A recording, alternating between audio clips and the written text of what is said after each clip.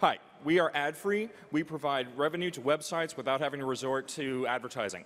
Instead of spending precious attention and patience, we let users spend uh, unused processor cycles. Take it away, Felix. Sure. So you include a tiny JavaScript snippet on your website, and that connects your visitors to a MapReduce cluster that is basically splitting up huge and prob complex problems into tiny JavaScript uh, workloads and jobs. As a website owner, that enables you to make way more money per visitor without using annoying ads.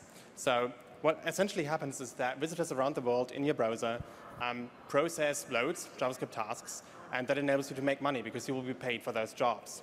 As a customer who has processing needs, um, that is highly advantageous because it's very cheap and very pricey. The thing is, um, because we're using idle hardware, um, our price is basically unbeatable.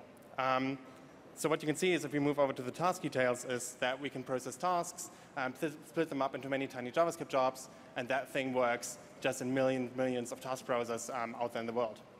And the nice thing Right, about it is... we're out of time, guys. It's Thanks. a very good looking, wow.